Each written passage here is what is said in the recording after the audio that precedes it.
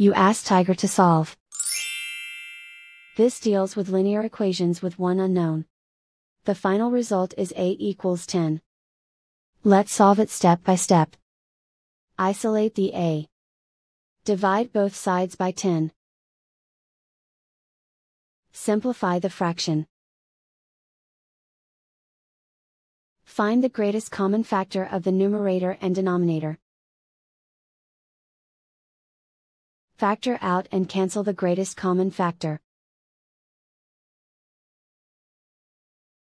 And so the final result is A equals 10.